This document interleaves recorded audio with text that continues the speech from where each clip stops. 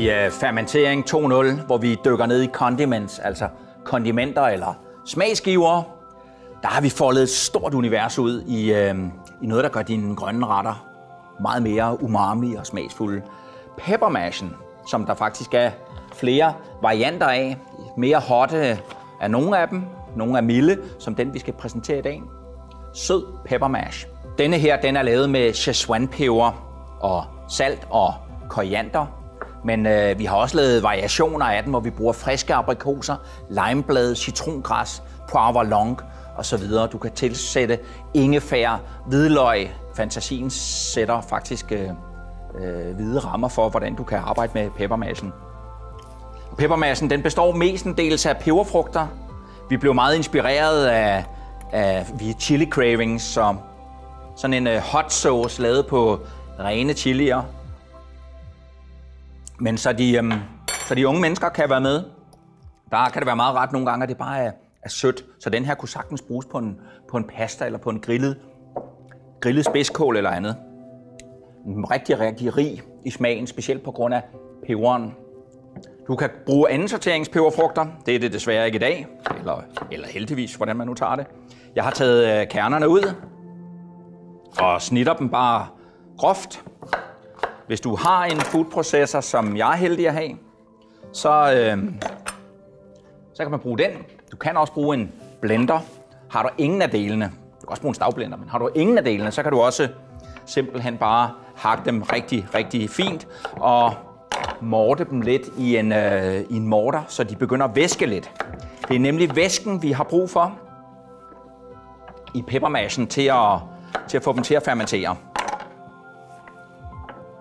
Og det er det, der egentlig var, var så dejligt. En opdagelse, da vi, da vi dykkede ned i peppermassen her. Den er simpelthen bare øh, så rig på smag i den juice, der er i, i peberfrugterne.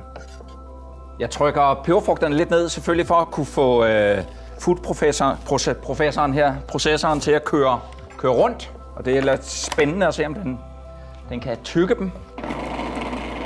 Det ser godt ud. Man skal jo helst øh, findele dem.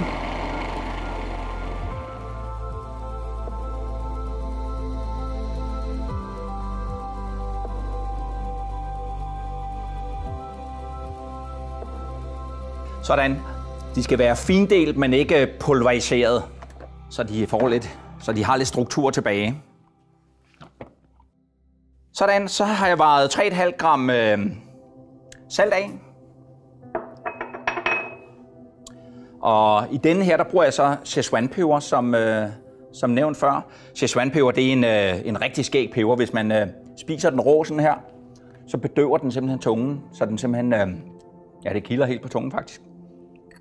En, en, en af mine favoritpeber sammen med lange peber giver en helt anden syrlighed til, øh, til retten. Som, øh, ja, det er de færreste, der kender alle de pebersorter, men øh, det er værd at dykke ned i. Og den her peppermash, den kan tage alle mulige retninger. Nu holder vi den lidt ren og klassisk her. Den kan vi så arbejde videre med senere, når den er færdig fermenteret. Men øhm, den her, den vil gerne måske kunne lide noget lidt ingefær.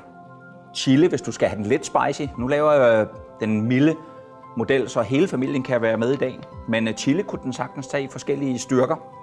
Øhm, og når den er færdig fermenteret, så vil jeg klart vende den med friskhakket skalotteløg eller rødløg og, et bund krydderurter. Koriander her faktisk, øh, kan I kan se pebermas med koriander, dill eller bredbladet persille. Øh, måske et squeeze øh, limesaft, når du serverer den. Så, øh,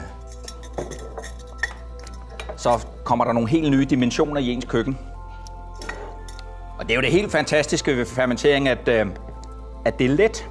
De fleste tror, det er en eller anden øh, kemisk kunstart. Men øh, den kemiske kunstart, den klarer den faktisk helt selv. Ved simpelthen at mælkesyregære på sine egne præmisser. Fik jeg lavet en lille smule for meget, så det her bruger jeg selvfølgelig enten i et andet glas, eller i min, øh, i min øh, spaghetti bolognese i aften, eller til en marinade sammen med, øh, med lidt olivenolie og salt.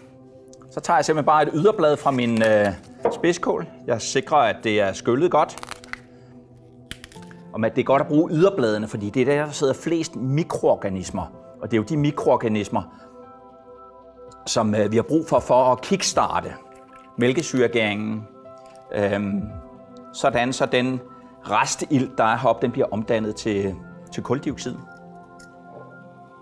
Så det er ligesom sådan en, en besky, et beskyttende lag, samtidig med, at det er en, det er en motor for fermenteringsprocessen. Sådan.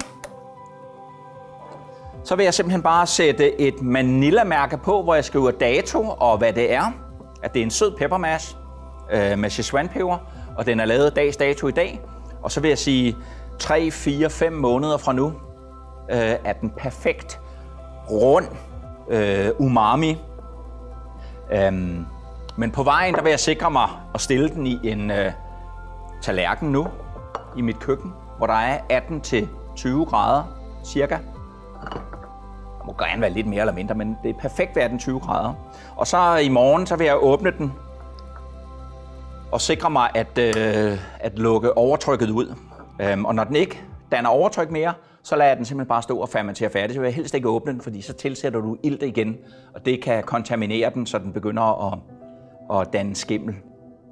Sådan her skulle den meget gerne fermentere færdigt til en mild, rund, sød peppermash, som øh, ja, faktisk holder farven og bliver til en vidunderlig smagsgiver, jeg har stående i mit køleskab.